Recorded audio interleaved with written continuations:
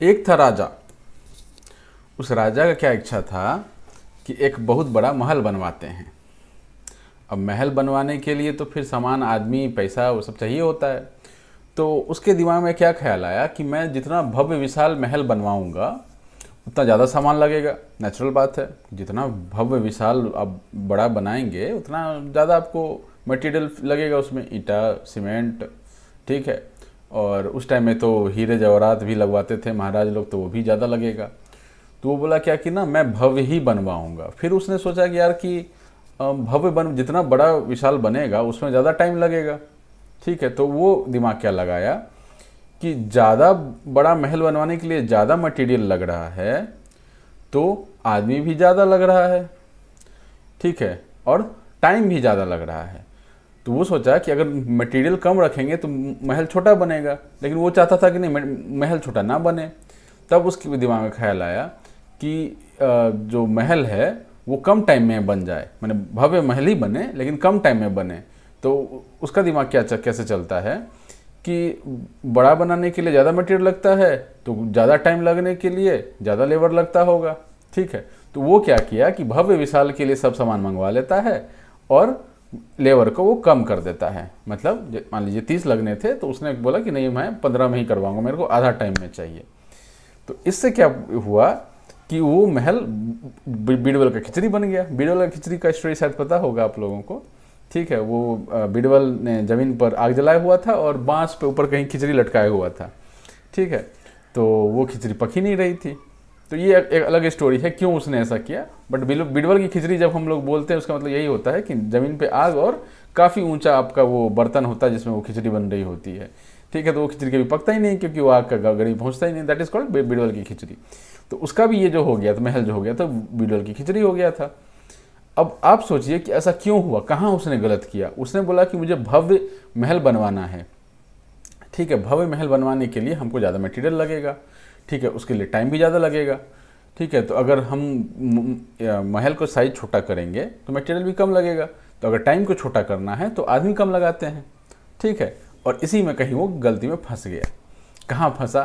तो उसके लिए हम लोग इस चैप्टर को पढ़ेंगे, जो क्लास एट का इलेवेंथ का चैप्टर है डायरेक्ट एंड इनवर्स प्रोपोर्शंस ठीक है, नमस्कार मित्रों, मैं हूँ नाइटन भानु और आपका चैनल एडवर्टेक्स पे स्वागत है। ठीक है, आगे बढ़ते हैं इसमें। टॉपिक जो है वो समझने का ज़्यादा है, एक बार आपने इसको समझ लिया तो आप कंसेप्ट वाइज इसको कर सकते हैं, ठीक है? मैंने छोटा इसलिए किया क्योंकि मुझे बताना है पहले, ठीक है? एक बार मैं एक्सप्लेन कर देता हूँ तो फिर मैं बुक पे भी चलेंगे, देखेंगे बुक को थोड़ी ना छोड़ेंगे, ठीक है? बुक वो, क्या बोले उसको? जैसा आपको फील आता हो, किताबों से प्यार हो तो देवता बोलिए, किताबों से नफरत हो तो दानव बोलिए तो देवता या दानव जी, जो भी आप समझते हैं किताब को वो आपके साथ जीवन में चिपका ही रहेगा। ठीक है, किसी भी स्टेज पे आप चले जाइए, चिपका ही रहेगा। ठीक है, चलिए। इसमें क्या है कि दो पार्ट है, एक डायरेक्ट पार्ट है और एक इनडायरेक्ट पार्ट है। ठीक है तो हम लोग क्या करेंगे? पहले डायरेक्ट पार्ट से शुरू करेंगे। ठीक है डायरेक्ट प्रोपोर्शन क्या होता है? डायरेक्ट प्रोपोर्शन क्या होता है? इसका सबसे बेसिक एग्ज़ाम्पल ये हो सकता है कि मान लीजिए आप दुकान पे गए, एक कोई आपको चाहिए, किताब कॉपी पेंसिल मान लेते हैं आपको पेंसिल चाहिए। ठीक है, आपने पूछा, भैया, पेंसिल का क्या रेट है? अब सामने वाला जो दुकानदार बैठा है वो आपको एक पेंसिल का रेट बताएगा। ठीक है, कभी भी आप सब्ज़ी लेने जाते हैं तो आप एक ऐसे थोड़ी ना कि पाँच का किलो का सीधा दाम पूछते हैं, आप एक किलो का दाम पूछते हैं। और फिर आप बोलते हैं कि नहीं, मेरे को इतने का मतलब एक किलो आलू तीस रुपये का है तो आप एक काम कीजिए, मेरे को तीन किलो आलू दे दीजिए। तो फिर आप दिमाग में मल्टीप्लाई करते हैं कि एक किलो का तीस रुपये दाम था तो तीन किलो का कितना हो जाएगा? तीस इंटू थ्री नाइन्टी हो जाएगा। ठीक है, इसी तरह से पेंसिल पे जो हम लोग बात कर रहे थे, उसमें यह था कि एक पेंसिल का दाम मान लीजिए उसने दो रुपये बताया। आजकल हम लोग तो खरीदते थे उस समय पचास पैसे का था शायद। आजकल पता नहीं कितने का मिलता है पाँच रुपये का तो मिलता ही होगा। किसी को अगर पता हो पेंसिल का दाम क्या चल रहा है आजकल तो प्लीज़ कमेंट में बताइए। ठीक है, वो नटराज का पेंसिल होता था, रेड कलर का वो होता था। उसका भाई बहन कोई होगा मेरे पास? एक एक भाई है उसका मेरे पास। इस वाली पेंसिल की मैं बात कर रहा हूँ, इसका दाम कितना है? अगर किसी को पता हो तो प्लीज़ बताइएगा। ठीक है। तो पेंसिल, अगर आपने एक पेंसिल का दाम पूछा, उसने पाँच रुपया बताया। ठीक है। अब आपको चाहिए कि भाई, मेरा जो छोटा भाई है, उसको तो पाँच छः पेंसिल लग ही जाएँगे महीने में तो मैं पाँच पेंसिल ले लेता हूँ। ठीक है। ज़्यादा और चाहिए होगा तो बाद में देखेंगे। तो अब क्या करेंगे? पाँच पेंसिल, एक पेंसिल का दाम पाँच रुपये है तो पाँच पेंसिल का दाम पच्चीस रुपया होगा। ठीक है। Five into five, twenty five. तो ये ये हुआ। ये तो खरीद बिक्री वाला हो गया। थोड़ा हम लोग महल पे आ जाते हैं। महल नहीं, मकान पे आ जाते हैं। मान लीजिए आपको एक रूम का घर बनाना हो। एक रूम का आपको अपना कोई घर बनाना हो कहीं पर। तो उसके लिए कुछ मटेरियल लगेगा। ठीक है, अगर आपको दो रूम का घर लगाना हो तो उसके लिए कुछ मटेरियल लगेगा। तो आप देखेंगे कि एक रूम में जितना हमको मटेरियल लगा, दो रूम में उसके दुगुना मटेरियल लग रहा है। ठीक है, और किसी एग्ज़ाम्पल पर आ जाते हैं। एक लीटर तेल में मान लेते हैं बीस किलोमीटर चलता है कोई गाड़ी। ठीक है तो दो लीटर में कितना चलेगा? चालीस किलोमीटर चलेगा, पाँच लीटर में कितना चलेगा? सौ किलोमीटर चलेगा। ठीक है, और आ जाइए किसी चीज़ पे। एक पेज लिखने में आपको एक घंटे का समय लगता है। तो दो पेज लिखने में आपको दो दो घंटे का समय लगेगा। पाँच पेज लिखने में आपको पाँच घंटे का समय लिखेगा तो इसमें क्या आप चीज़ देख पा रहे हैं कि एक क्वांटिटी जो है, उसको अगर आप बढ़ा रहे हैं तो दूसरा क्वांटिटी भी बढ़ रहा है। क्लियर है? ठीक है तो इसमें डायरेक्ट प्रोपोर्शन में यही होता है कि एक क्वांटिटी का आप बढ़ाते हैं उसमें दूसरा क्वांटिटी भी, भी बढ़ता है। ठीक है? और वो एक रेशियो में बढ़ता है। ये बहुत इंपॉर्टेंट पॉइंट है। बढ़ने के लिए बहुत कुछ बढ़ सकता है। जैसे मान लेते हैं कि एक लीटर में मान लीजिए अपने एक लीटर में पचास की स्पीड पर गाड़ी चलाया। एक लीटर पूरा तेल आपने पचास की स्पीड पर ख़त्म कर दिया। तो हो सकता है कि आपका जो है पचास की स्पीड पर पचास किलोमीटर चल गया हो। मान लेते हैं एक बात। ठीक है? हो सकता है मतलब प्रैक्टिकल पर मत जाइए। प्रैक्टिकल पे ले तो थोड़ा मतलब बीस किलोमीटर रख लीजिए। छोटी गाड़ी है। आप समझते होंगे हैचबैक समझते होंगे ना। हैचबैक इज़ जो कारें होती हैं ना, वो हम लोग मारुति एट हंड्रेड अल्टो, ठीक है एट हंड्रेड तो खैर आउटडेटेड हो गया। अल्टो हो गया या छोटा में आ जाइए ना, कोई सा भी स्विफ्ट हो गया, स्विफ्ट जो छोटा वाला स्विफ्ट होता है। ठीक है, वैसा कोई गाड़ी हो गया अल्टो इज़ द मतलब सबसे बढ़िया एग्ज़ाम्पल अल्टो ही है छोटी गाड़ी का। हैचबैक उसको बोलते हैं। सबसे एफिशिएंट सबसे बढ़िया गाड़ी अल्टो रहा है। ठीक है तो उसमें क्या है कि अगर आपने 50 किलोमीटर की स्पीड से आपने एक लीटर तेल जलाया तो वो क्या है कि आपका 20 किलोमीटर चला गया, चल गया। ठीक है, आपने अगर 90 की स्पीड से एक लीटर तेल को कंज्यूम किया 90 की स्पीड से एक लीटर तेल को कंज्यूम किया तो ऐसा हो सकता है कि वो आपका पिछली बार 20 किलोमीटर चला था तो इस बार 18 किलोमीटर चले। ठीक है, या हो सकता है 22 किलोमीटर चल जाए एक लीटर में। तो हम उसकी बात नहीं कर रहे हैं। हम जो बात कर रहे हैं, उसमें कांस्टेंट की बात कर रहे हैं। यहाँ पे चेंज आ गया ना, एक लीटर में पहले तो 20 किलोमीटर दिख रहा था, दूसरे केस में हमको 18 किलोमीटर ही चल रहा था गाड़ी। ठीक है? तो इस चीज़ को ध्यान में रखते हुए आपको ये रखना है कि एक क्वांटिटी को बढ़ाएँगे तो दूसरा भी बढ़ेगा और एक प्रपोर्शन में बढ़ेगा। इसीलिए यहाँ पर डायरेक्ट के साथ प्रपोर्शन वर्ड यूज़ किया गया है। डायरेक्ट क्यों यूज़ किया गया है? क्योंकि ये बढ़ेगा तो ये भी बढ़ेगा तो डायरेक्ट हो गया। अब ये बढ़ेगा तो ये भी बढ़ेगा तो हो सकता है कि वो रेशियो में ना बढ़े। ठीक है? मान लेते हैं। कि आपने दौड़ना शुरू किया। ठीक है, दौड़ना शुरू किया तो क्या होगा? आप एक किलोमीटर, ठीक है, दस किलोमीटर रख लेते थोड़ा बड़ा नंबर लेते हैं। दस किलोमीटर आपने दौड़ लिया कितने देर में? मान लेते हैं पंद्रह मिनट में आपने दस किलोमीटर दौड़ लिया। मतलब पंद्रह मिनट थोड़ा ज़्यादा कम हो गया। एक सेकेंड, इतना इसमें रबर नहीं दिख रहा है कहीं। हाँ। तो इसको क्या करते हैं ना, एक उल्टा लेते हैं, उल्टा लिखते हैं। एक आवर में एक घंटे में आप वन आवर में आप दौड़ गए। मान लेते हैं पंद्रह किलोमीटर। ठीक है, थोड़ा ज़्यादा है बट इतना नहीं होता है, लेकिन मान लेते हैं। ठीक है, दो घंटे में अगर आप दौड़ते हैं टू आवर में आप दौड़ते हैं थर्टी किलोमीटर्स तीन आवर में दौड़ते हैं तो मतलब टू आवर में फिफ्टीन ही किलोमीटर दौड़ा है वो। थोड़ा बढ़ता गया ना। थोड़ा बढ़ाइए इसको। एक घंटे में पंद्रह दौरा है तो दो घंटे में टोटल थर्टी दौड़ेगा टोटल थर्टी ये मैं टोटल लिख रहा हूँ ना यहाँ पे टोटल है ये। मैं वही कंफ्यूज हो रहा था, क्या लिख रहा हूँ मैं। दो बार में थर्टी किलोमीटर, तीन आवर में फोर्टी फाइव किलोमीटर्स ठीक? तो एक क्वांटिटी को बढ़ा रहे हैं तो दूसरा क्वांटिटी बढ़ रहा है। एक ये एग्ज़ाम्पल है। दूसरा एग्ज़ाम्पल ये है कि एक आवर में पंद्रह किलोमीटर टोटल दौड़ा वो दो आवर में थर्टी फाइव किलोमीटर दौड़ा वो तीन आवर में 55 किलोमीटर दौड़ गया वो। ठीक है, ये टोटल लिख रहे हैं, ये भी टोटल ही है। ठीक है? तो अब आप ये समझिए कि इन दोनों में क्या डिफरेंस है? एक quantity one two three hour जो है बढ़ रहा है नीचे की ओर तो इसका किलोमीटर भी बढ़ रहा है, पंद्रह, तीस पैंतालीस। ठीक है, इसमें भी वही चीज़ हो रहा है। इसमें भी वही बढ़ रहा है। इन दोनों में क्या है कि दोनों में हम बोल सकते हैं कि ये डायरेक्ट रिलेशन तो है डायरेक्ट रिलेशन है। ठीक है, क्या बोल सकते हैं इसमें? डायरेक्ट रिलेशन है। लेकिन हम दोनों ही केस को डायरेक्ट प्रोपोर्शन नहीं बोल सकते हैं। ठीक है, डायरेक्ट प्रोपोर्शन क्यों नहीं बोल सकते हैं? क्योंकि ये प्रोपोर्शन में नहीं है। रेशियो अगर निकालें तो एक आवर में दौड़ जाता है। पंद्रह, इन दोनों में डिफरेंस देखिए, कितना आ रहा है? पंद्रह आ रहा है। इन दोनों में डिफरेंस क्या देखिए? पंद्रह आ रहा है। मतलब कि वन बाई टू अगर इधर दिस बाई दिस करें वन बाई टू तो इधर क्या आ जा रहा है? Fifteen by thirty fifteen by thirty ठीक है? इसको और इसको कीजिए आप। टू बाई थ्री आ, आ रहा है तो थर्टी बाई क्या आ जाएगा? फोर्टी फाइव आ जाएगा। This is one two equal to one by two this is thirty by forty five तो फिफ्टीन टू जा थर्टी एंड फिफ्टीन थ्री जा फोर्टी फाइव ठीक है? तो ये एक कांस्टेंट रेशियो में चल रहा है।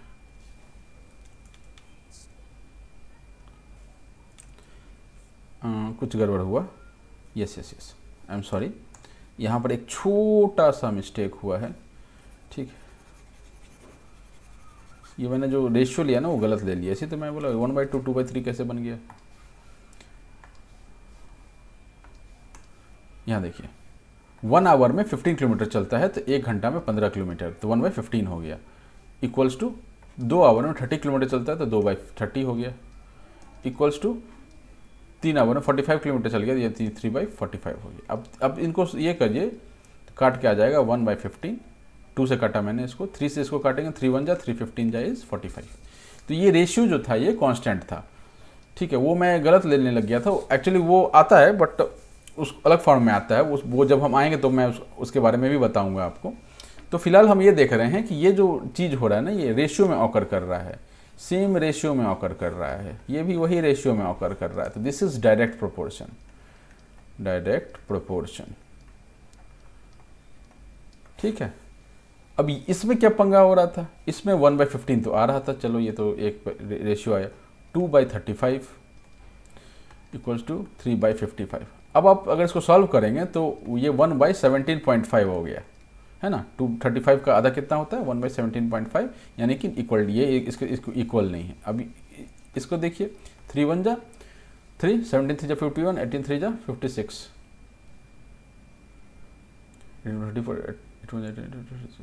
फिफ्टी फोर हो जाएगा ना।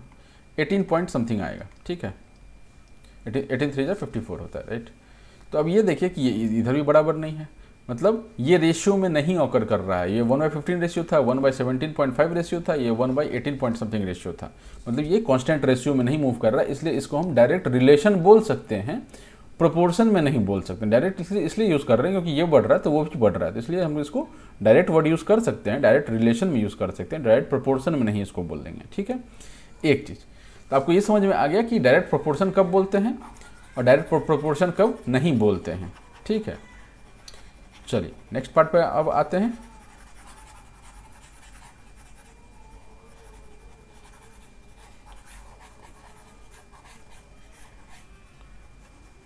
एक सेकंड बस। अब इसमें एक चीज़ है, इसको रिप्रेजेंट कैसे करते हैं? ठीक है। इसमें अभी हमने देखा कि दो क्वांटिटीज़ हैं। There are two quantities two quantities दो क्वांटिटीज़ हैं इसमें। कौन कौन से हैं? आवर और किलोमीटर था। तो हम बोल सकते हैं उसको एक्स और वाई दो ये है। डायरेक्ट अगर प्रोपोर्शन में है, हम इसको रिप्रेजेंट करेंगे x is proportional to y ठीक है? जिसको, इसको क्या पढ़ते हैं? प्रोपोर्शनल टू ठीक है? X is proportional to y यहाँ तक क्लियर है? जब इसको हम सॉल्व करने जाएँगे तो हम ऐसे सॉल्व इसको नहीं कर सकते हैं। मतलब प्रोपोर्शनल वाले साइन हटाना पड़ेगा। इस साइन के साथ हमको सॉल्व करने नहीं आता है। हमको सॉल्व करने किसके साथ आता है? इक्वालिटी के साइन के साथ। किसके साथ आता है? हमको साइन सॉल्व करने इक्वालिटी के साइन कभी हमने इक्वेशन देखा है x plus y equals to five ये इक्वालिटी के साथ ये होता है, तभी हमको सॉल्व करने आता है, या फिर इनइक्वालिटी हो x plus y is greater than five या लेस देन फाइव कुछ भी हो एक्स प्लस वाई करके। तो इस केस में क्या होता है कि हमको जो सॉल्व करने आता है, सवालों को, ठीक है? किस चीज़ के साथ हमको नहीं आता है इस डायरेक्ट प्रोपोर्शनल का जो साइन है, इसके साथ हमको सॉल्व करने नहीं आता है। ठीक है तो हम क्या करेंगे? इसको रिप्लेस करेंगे। किससे रिप्लेस करेंगे? इक्वल टू से रिप्लेस करेंगे। इक्वल टू से रिप्लेस करेंगे तो अब सीधा सीधी तो इक्वल टू लिख नहीं सकते हैं। सीधा सीधी इक्वल टू तो लिख नहीं सकते हैं। इक्वल टू अगर सीधा ही होता तो फिर वो प्रोपोर्शनल साइन का मतलब क्या था? ठीक है, और एक और चीज़ हमने देखा है कि डायरेक्ट प्रोपोर्शन में एक रेशियो का फंडा आता है। मतलब रेशियो को रिप्रेजेंट करने के लिए कुछ तो होना चाहिए। ज़ाहिर सी बात है कि जब हमने ये proportional sign x is proportional to y लिखा और प्रोपोर्शनल साथ हम सॉल्व करना हम नहीं जानते हैं तो हम क्या करेंगे? एक इक्वल टू लेके आएँगे। एक और चीज़ में हमने अभी तक पढ़ा है कि डायरेक्ट प्रोपोर्शन में एक रेशियो वाला फंडा हो रहा था, जो कांस्टेंट हो रहा था। तो मतलब कुछ रेशियो वाला फंडा भी इस रिप्रेजेंटेशन में आना चाहिए। तो उसके लिए हम लोग क्या बोलते हैं यहाँ पर? के बोलते हैं। ठीक है? के इज़ रेशियो अब मैं एग्ज़ाम्पल लूँगा तो आपको और अच्छे से क्लियर होगा। ठीक है? के क्या है? हमारा रेशियो है। तो किसी भी डायरेक्ट प्रोपोर्शन को x is proportional to y को हम लिख सकते हैं। x equals to k y जहाँ पर k क्या है? k इज़ रेशियो रेशियो ठीक है? अब इसको आ, स, ए, सवाल को लेते हैं। एक जो पुराना सवाल लिया था एक घंटे में वो पंद्रह किलोमीटर चल रहा था दो घंटे में तीस किलोमीटर चल रहा था। दो घंटे में तीस किलोमीटर चल रहा था।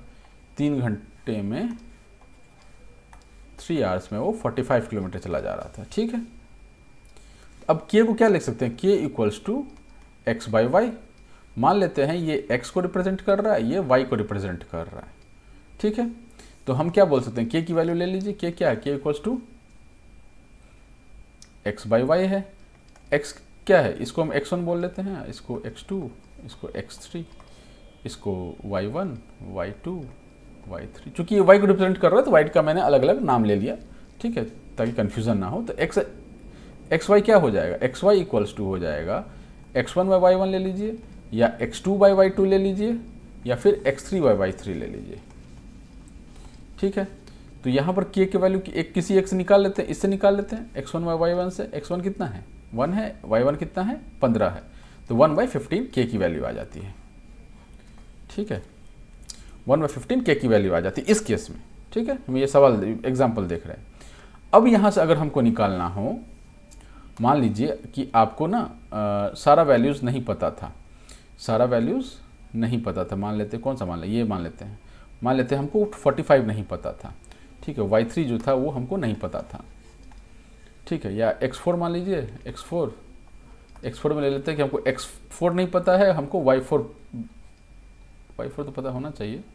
60 y4 पता है। ठीक है y4 पता है। तो हमको क्या करेंगे, ये रेशियो कैसे यूज़ करेंगे हम, ये वैल्यू और ये वैल्यू निकालने के लिए, वो दोनों ही हम देखेंगे अभी। ठीक है तो इसके दो तरीके हैं।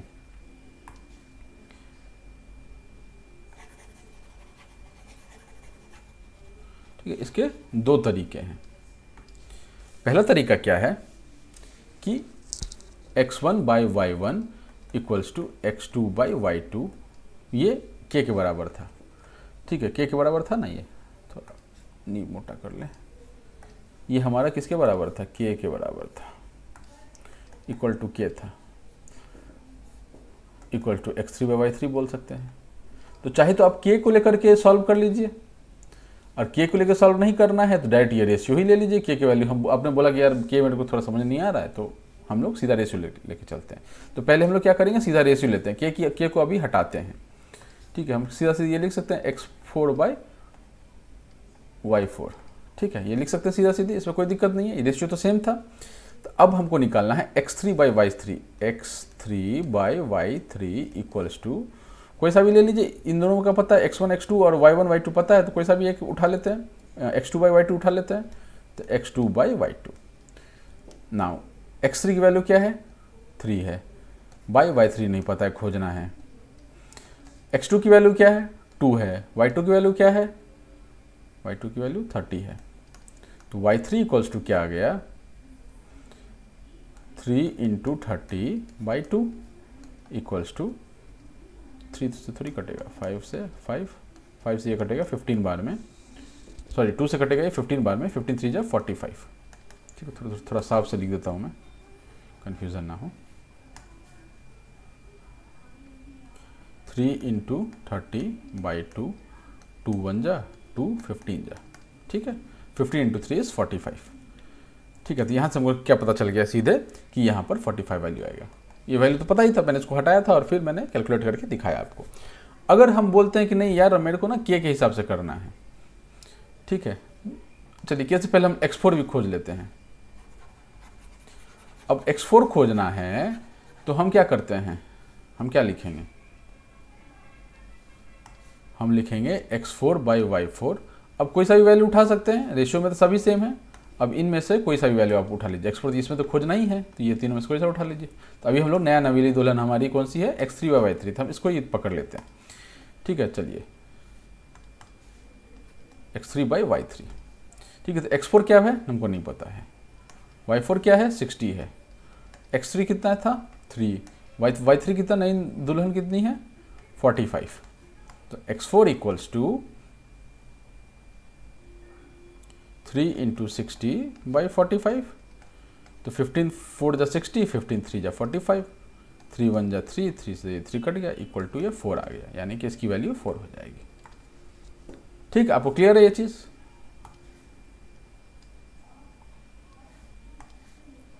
ये फोर हो गया, ये फोर्टी फाइव हो गया। अब हम बोलते हैं कि भाई ये तो एक रेशियो आपको पता है और दूसरा रेशियो आप आराम से निकाल सकते हैं। ठीक है इसमें ध्यान रखने की बात क्या है कि आप कभी भी ये जो x वाला पार्ट है ये x3 और x4 जो है वो x के ही सिबलिंग्स होंगे। ठीक है गलती से भी y का वैल्यू उठा के x3 की जगह पर उल, उल्टा मत लिख दीजिएगा। न्यूमरेटर का डिनोमिनेटर और डिनोमिनेटर का न्यूमरेटर अगर आप ये ऐसा कर देंगे तो आपका मार्क्स जो है वो ऊपर का नीचे टीचर कर देगा। मान लीजिए दो मार्क्स का सवाल था तो वन बाई टू कर देगा। ठीक है? या इसको ज़ीरो बाई टू भी कर सकता है इक्वल टू ज़ीरो हो सकता है। ठीक है ना? तो प्लीज़ ऐसी गलती ना करें।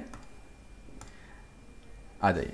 अब है हमारा अगला सवाल कि भाई, हमको ना ये ऐसे, ठीक है, ये मेथड अच्छा है, लेकिन के वाला मेथड बताओ। ठीक है? क्योंकि के वाला मेथड क्या, थोड़ा स्टैंडर्ड है। स्टैंडर्ड प्रैक्टिस है। मतलब करने के लिए भी कर सकते हैं, कोई दिक्कत नहीं है इसमें। और ये आप जिस लेवल पर हैं एट्थ के लेवल पे हैं तो आप आराम से कर सकते हैं। सातवें, आठवें लेवल पर आप ऐसा भी करेंगे, चलेगा। बट के वाला थोड़ा बढ़िया लगता है देखने में और के वाला जो चीज़ है, वो आपको एलेवन ट्वेल्थ लेवल और फर्दर अगर रिसर्च वगैरह में जाते हैं तो वहाँ भी आपको के वाला फैक्टर तो हमेशा ही मिलेगा। प्रोपोर्शन हटा के आप के वाला फैक्टर पुट कर रहे हैं, अगर वो रेशियो में ऑकर कर रहा है तो। ठीक है? अब इसमें देखिए कि के वाला फैक्टर हम लोग कैसे यूज़ करते हैं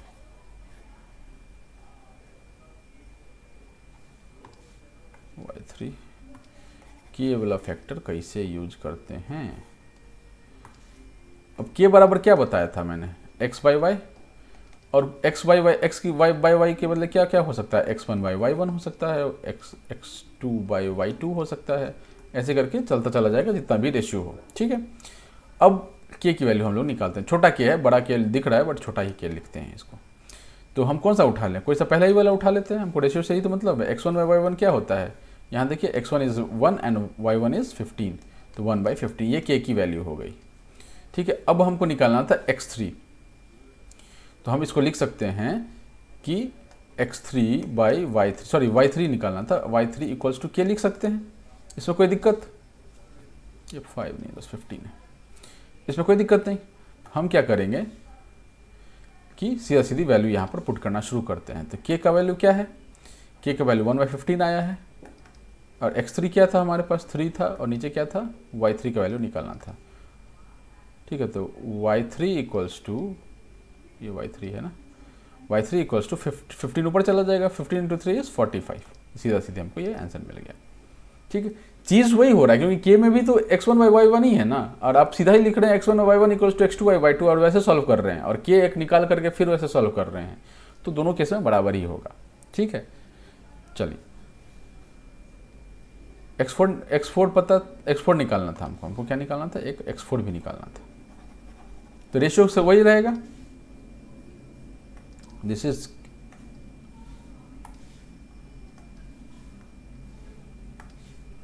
इसको लिख सकते हैं x four by y four y four अब के की वैल्यू क्या है? One by fifteen equals to x four है सॉरी ना? एक्स फोर निकालना है। और वाई फोर हमको पता है सिक्सटी सिक्सटी तो x four equals to x four equals to sixty by fifteen fifteen one जा फिफ्टीन फोर जा इक्वल्स टू फोर ठीक है, यही यहाँ पर फोर था। ठीक, समझ गए आप कैसे अप्रोच करते हैं? के निकाल कैसे अप्रोच करते हैं? और डायरेक्ट प्रोपोर्शन में कैसे अप्रोच करते हैं? X one y y one equals to x two y y two तो ये रेशियो प्रोपोर्शन जैसा नहीं दिख रहा है आपको। अगर कोई रेशियो में हो x one is two y one as two x two is two y two ठीक है? ये अगर है ऐसा तो इसको हम क्या लिख सकते हैं? इसको हम लिखते हैं ना? X one by y one equals to x two by y two और इसको हम लोग के के बराबर अगर आपने शायद पढ़ा भी हो इक्वल्स इसको के के बराबर हम लोग बोल देते हैं। ठीक है? तो आपको ये समझ में आ गया कि के के हिसाब से कैसे करना है और प्रोपोर्शन में लेके करना है कैसे है। ठीक? अब आ, जा, आ जाते हैं हम किताब पर और उसमें देखते हैं क्या क्या क्या अपना ये है। ठीक है? जो थ्योरी वाला पार्ट है वो प्लीज़ आप खुद पढ़िए। ठीक है? क्योंकि एक्सप्लेन वाला काम मैंने कर दिया है। आपको बस एक रीडिंग डालना है। एक रीडिंग डाल दिया उसके बाद उसको दोबारा जीवन में अगर आप शिक्षक ना बन रहे हों तो देखने की ज़रूरत नहीं है। या शिक्षक शिक्षक दो तरह के होते हैं। एक तो होते हैं जो अपने बच्चों को भी पढ़ाते हैं वो भी शिक्षक ही हुआ गुरु ही हुआ ना। और दूसरा जो स्कूल में पढ़ाता है या फिर कोचिंग में पढ़ाता है, वो भी शिक्षक ही है। जो भी आपको ज्ञान दे, वो आपका गुरु है, वो आपका शिक्षक है। ठीक है। चलिए। Let's move on to the chapter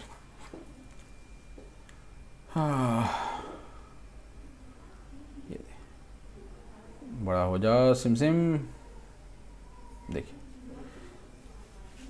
तो अब इसमें कुछ, बहुत कुछ बताने वाला नहीं है। ये एग्जाम्पल्स हैं। ठीक है number of article purchased increases the total cost also increases ठीक है total cost also increases more money deposited in bank more the interest ठीक है? As the speed of vehicle increases time taken to cover the same distance decreases okay ये तो introduction का part है। Direct proportion शुरू नहीं हुआ है। तो आप ये देख लीजिए कि ये क्या हो रहा है ना कि आर्टिकल अगर आप अब ज़्यादा खरीद रहे हैं तो कॉस्ट इंक्रीज हो रहा है। बैंक में आप डिपॉजिट कर रहे हैं, ज़्यादा पैसा तो ज़्यादा इंटरेस्ट मिल रहा है। तीसरे केस में व्हीकल आपको ज़्यादा स्पीड बढ़ा रहे हैं तो टाइम आपको कम लग रहा है। और given job more the number of workers less will time taken ज़्यादा एक काम के लिए पर्टिकुलर आपने अगर वर्कर्स का नंबर बढ़ा दिया तो समय जो है वो कम लगेगा। ठीक है तो ये इसका एग्ज़ाम्पल है कि इसमें कहीं पर ये दूसरा वाला नीचे जा रहा है और किसी में ये दूसरा वाला ऊपर जा रहा है। तो यहाँ पर यही बोलना चाह रहा है कि change in one quantity leads to change in the other quantity ठीक है change in one quantity leads to change in other quantity तो इसमें क्या होता है कि अदर क्वांटिटी में ज़्यादा भी हो सकता है और कम भी हो सकता है। तो पहले हम लोग ज़्यादा वाला देखते हैं। ज़्यादा वाला कौन सा था? डायरेक्ट प्रोपोर्शन था। प्रोपोर्शन क्यों हमने यूज़ किया था? क्योंकि वो एक रेशियो में ऑकर कर रहा था। ठीक है, वो हम देख चुके हैं। अब इसमें आप इन चीज़ों को पढ़िए। ठीक है, अब इसमें आप क्या देख रहे हैं? ये एक्स हो गया ये वाई हो गया? ठीक है तो वन बाई थर्टी सिक्स जो है, क्या x by y, k equals to x by y equals to one by thirty six. ये बेसिक एक रेशियो है। अब आप देखेंगे यहाँ पर तो ये भी उसी रेशियो में होगा। Three by one hundred, three by एक सौ आठ कितना होता है? इक्वल टू एक सौ आठ, इक्वल टू होता है वन बाई थर्टी सिक्स होता है। ठीक है, फाइव बाई वन एट्टी कितना होता है? Five by one eighty equals to one by thirty six ही होता है। ठीक है तो कहने का ये मतलब है कि ये जब प्रोपोर्शन में मतलब रेशियो में ऑकर कर रहे हैं, जो कांस्टेंट रेशियो में ऑकर कर रहे हैं इससे हम इसको बोलते हैं डायरेक्ट प्रोपोर्शन एक चीज़, दूसरी चीज़, जब वो मल्टीप्लाई हो रहा है मतलब जब वो इंक्रीज हो रहा है, एक इंक्रीज हो रहा है, दूसरा भी इंक्रीज हो रहा है तो वो एक रेशियो में इंक्रीज हो रहा है तो एक कॉमन फैक्टर निकल के आएगा। ठीक है कॉमन फैक्टर क्या निकल के आएगा? ठीक है, वो कॉमन फैक्टर निकल के आ सकता है आपका वन का टू का थ्री का फोर का फाइव का। जैसे यहाँ पर क्या हो रहा है कि एक किलो शुगर का दाम कितना है? छत्तीस रुपया है, ठीक है? तो तीन किलो का दाम कितना होगा? एक सौ आठ है। तो इसको आपने अगर तीन से मल्टीप्लाई किया तो नीचे वाले को भी तीन से मल्टीप्लाई करना पड़ेगा, ठीक है? ऊपर वाले को जिस नंबर से मल्टीप्लाई किया, पाँच से मल्टीप्लाई किया तो नीचे वाले को भी पाँच से मल्टीप्लाई करना पड़ेगा। तो ठीक है, यही यहाँ पर बताना चाह रहा है। समझ में आ रहा आप लोगों को? ठीक है, ये बहुत इंपॉर्टेंट पार्ट है इसका, जो बहुत लोग नेग्लेक्ट करते हैं। Ratio x and y does not change ठीक है रेशियो एक्स एंड वाई जो है डज नॉट चेंज अब इसमें एक सवाल है कि पेट्रोल चार किलो, चार लीटर पेट्रोल में साठ किलोमीटर चल जाता है तो आठ में कितना चलेगा? ये दो सौ मल्टीप्लाई हुआ तो नीचे वाले को भी दो सौ मल्टीप्लाई करेंगे, एक सौ बीस हो गया। ठीक है? और देखिए, और इसका रेशियो क्या है? रेशियो इस वाले का रेशियो है four by sixty x and y equals to k equals to four by sixty ठीक है? फोर बाई सिक्सटी से क्या आ जाएगा? वन बाई फिफ्टीन आ जाएगा। तो मतलब रेशियो का वैल्यू ये आ गया, यानी के का वैल्यू क्या आ गया? ये आ गया। अब हमको क्या बोला है कि आप इसकी वैल्यू बताइए। तो हमको क्या पता है? एक्स की वैल्यू पता है फिफ्टीन वाई की वैल्यू निकालनी है। ठीक है equals to k x by y equals to k होता ही है। के की वैल्यू क्या था? One by fifteen equals to one by fifteen ठीक है तो यहाँ से क्या आ जाएगा? इसको थोड़ा सा और बहुत जुदा जुदा है। इसको थोड़ा करीब लाते हैं। ये वाई है ना? ठीक है y equals to fifteen square कितना होता है? टू ट्वेंटी फाइव होता है। ठीक है, ये इसका यहाँ पर टू ट्वेंटी फाइव हो जाएगा। ठीक है, इसी तरह से इसका वही और इसका भी वैल्यू निकालिए। ठीक है तो अभी ये क्या था कि इसमें हमने ये तिगुना हो रहा था, चार किलो, चार लीटर पेट्रोल, बारह लीटर बन रहा था, मैंने थ्री से मल्टीप्लाई हो रहा था तो सिक्सटी भी थ्री से मल्टीप्लाई होगा। ठीक है, ये आइडियल केस ले रहे हैं रियल केस नहीं है एक्चुअली में ऐसा नहीं होता है। ठीक है, हर लीटर पेट्रोल में अलग अलग चलता है। ठीक है, मैं अपनी जो व्हीकल है उसकी, उसका नापता हूँ तो कभी तेरह, कभी चौदह, कभी पंद्रह, कभी सोलह तो हाइडली जाता है, लेकिन तेरह, चौदह, पंद्रह, तेरह, चौदह, पंद्रह ऐसा चलता है। ठीक है ना? तो ये आइडियल केस है, जिसे मान के चलते हैं कि एक लीटर में इतना चल रहा है तो दस लीटर में इतना ही चलेगा। ठीक है? वेरिएशंस को हम लोग नेगलेक्ट कर देते हैं। ठीक है? एक चीज़ ये हो गया। अब मान लेते हैं ये पंद्रह पर, अब यहाँ पर चार को पंद्रह पर लेके गया है। ठीक है? चार को पंद्रह पर लेके गया है। तो फिफ्टीन डिवाइडेड बाई फोर जितना होगा इक्वल टू कितना हो जाएगा? वाई डिवाइड ये आते हैं उस चीज़ पर एक चीज़ यहाँ पर है जो बताना है। बाकी अभी आपको अगर निकालना हो तो ये आप के से निकालिए। ठीक है के से निकालेंगे, आपको आराम से ये भी निकल जाएगा, ये भी निकल जाएगा। ठीक है, और ये जो फैक्टर वाली बात थी जो मैंने बोला कि अभी बताता हूँ, ठीक है, क्योंकि ये सब तो मल्टीपल में ओकर कर रहे थे। फोर का, आठ जो है फोर का मल्टीपल पल है, बारह फोर का मल्टीपल है, बीस फोर का मल्टीपल है। तो मल्टीपल वाले तो सीधे ही निकल जाएँगे। जैसे फोर जो है, वो ट्वेंटी दे रहा है ना? फोर ट्वेंटी दे रहा है। तो फोर फाइव जो ट्वेंटी होता है, ये से ये जो जाएँगे तो इंटू फाइव करेंगे तो ये से ये क्या करेंगे इंटू फाइव करेंगे। तो sixty into five is three hundred ठीक है? अब ये सब क्या, ये दो क्या है यहाँ पर? ये दो दो है, एक ये वाला और एक ये वाला। ये फोर के मल्टीपल नहीं है। इनमें हमको रेशियो लगाना ही पड़ेगा। ठीक है? अगर रेशियो आप नहीं लगाना चाहते हैं तो उसके लिए जो सिस्टम है, वो अभी आएगा नेक्स्ट लाइन में। वो पहले बता दूँ, उसके बाद फिर हम इस पर जाएँगे कि हमको कौन सा लेना चाहिए मेथड? तो एक तो आपको ये समझ में आ रहा है कि हमने अभी क्या बात किया कि x1 one by y one equals to x two by y two अगर ये ट्रू है, जो कि डायरेक्ट प्रोपोर्शन ट्रू होगा, ठीक है तो हम इसको और क्या लिख सकते हैं? Implies that x one by x two equals to y one by y two ठीक है, इसको मैंने ये से लिखा है, इसको ऊपर ले गए और इसको नीचे लेके आ गए। ठीक? अगर ये डायरेक्ट प्रोपोर्शन में है तो ये रेशियो में होगा, ये रेशियो में होगा तो हम लोग इसको ऐसे भी लिख सकते हैं x one y y two equals to x one y x two equals to y one by y two ठीक है? वही मैं बता रहा था आपको कि यहाँ पर जो सवाल था, वो हम लिखते हैं। अभी सवाल उस तरह से सॉल्व करने की कोशिश करते हैं। ठीक है? बाकी वो जो मैंने आपको के और x one y y y one equal to x two y y two से तो सॉल्व हो ही रहा है। एक और तरीका बता रहा हूँ मैं जस्ट और सेम ही है, कुछ बहुत डिफरेंट नहीं है। बट मान लेते हैं कि थोड़ा इसमें वेरिएशन था तो मैंने अलग से बताना ज़रूरी समझा इसको। तो x one by y one equals to x two by y two implies that x1 by x1 by x2 equals to y1 by y2 ठीक है this sign is called implies that या इम्प्लाइज सीधा implies बोलिए that छोड़िए। ठीक है x one y one equals to x two y y two implies x one by x two equals to y one y y two ये अगर true है तो ही ये ट्रू होगा। ठीक है? ये ट्रू नहीं है तो ये ट्रू नहीं हो सकता। ठीक? आपको ये ध्यान रखना है। होता क्या ना इसका थ्योरी पार्ट जो होता है ना कभी कभी थोड़ा मतलब आ, समझ में कम आता है लेकिन जैसे आप न्यूमेरिकल्स पे आते हैं ना वो आराम से हो जाते हैं। जैसे आपको ये अभी मैंने आपको जो कहानी बताया ये जो x one y x two और वाई वन वाई टू जो भी है ठीक है, ये थोड़ा सा ऐसे समझने में लग रहा होगा कि नहीं समझ में आ रहा, तभी आप सवाल करेंगे, तब देखेंगे, आराम से बन रहा है। ठीक है, कोई सा उठाते हैं? मान लेते हैं ये निकालना था हमको, ठीक है? तो हम पहले कैसे निकाल रहे थे? X one y one, four by sixty equals to eight by y. ठीक है, यहाँ से कैसे निकाल रहे थे? ये वाला फंडा लगा रहे हैं हम लोग। तो यहाँ से कैसे निकाल रहे थे? वाई ऊपर लेके जाएँगे और इधर उल्टा करके लेके आएँगे।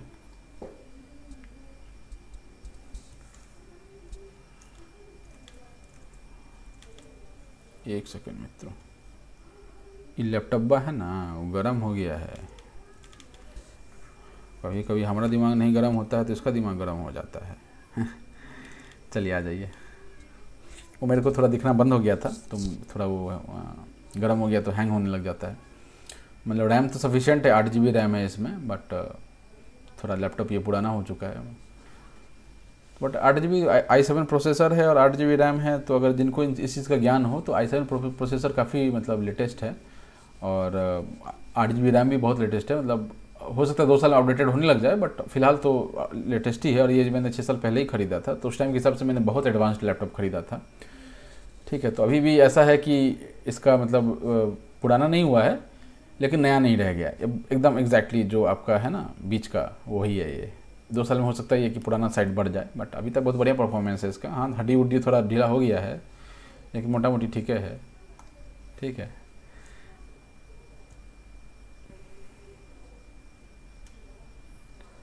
ठीक है तो इसको हमने कैसे सॉल्व किया था? Four by sixty equals to eight by eight by y two y y रख लीजिए इसको सीधा।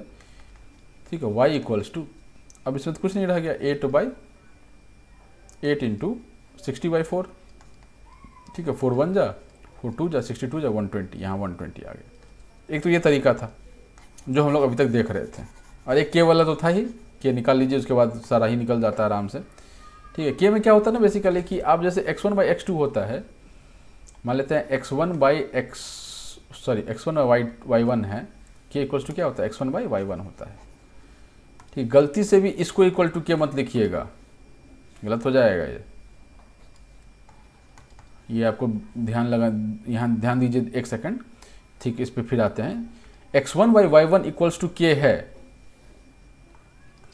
ठीक है। दिस इज़ इक्वल्स टू के मैं इसको ब्लैक में लिखता हूँ यहाँ पर। This is equals to k but this is not equals to k क्यों नहीं है के के बराबर? ठीक है, क्योंकि मैंने हमेशा मतलब शुरू से आपको ये बताया है कि एक्स वाई वाई जो है, वो के के बराबर होता है। यहाँ पर हमने इसको, इससे ये तो लिख लिया कि x one y x two equals to y one y two but this is not equals to k k हमेशा x one by y one होगा या एक्स बाई वाई होगा।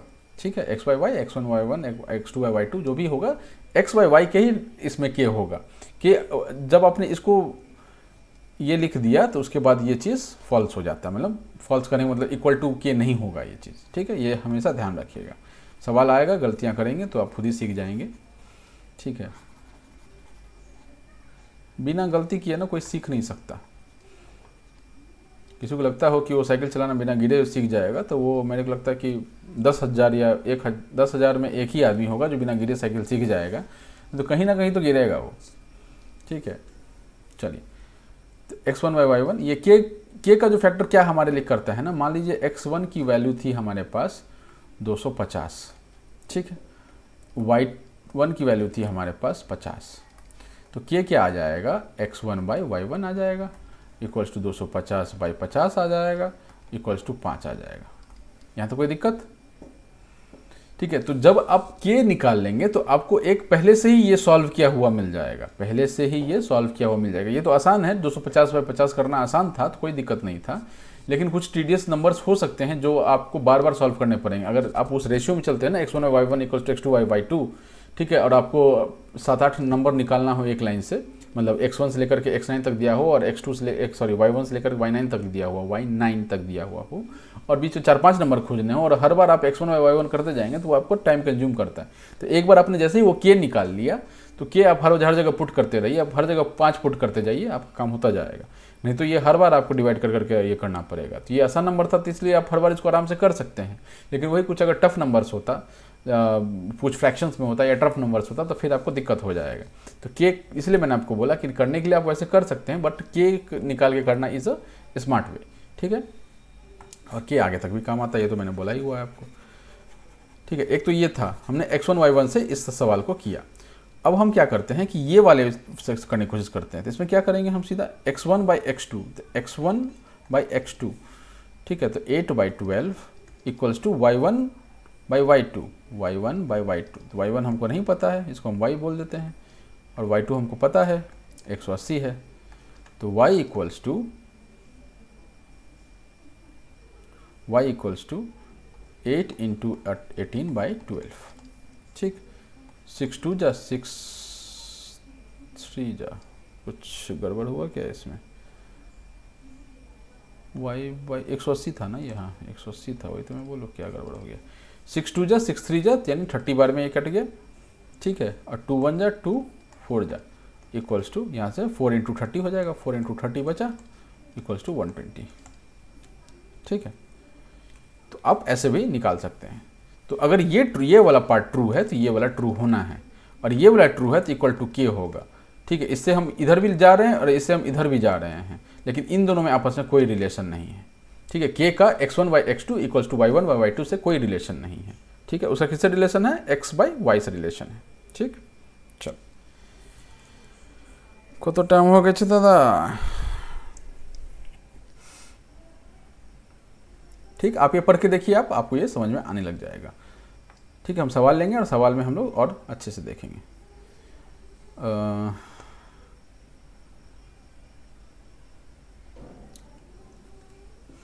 डू दिस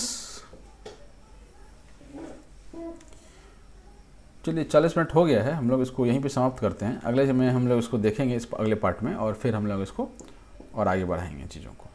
ठीक है। चलिए। Thank you Tata. सिया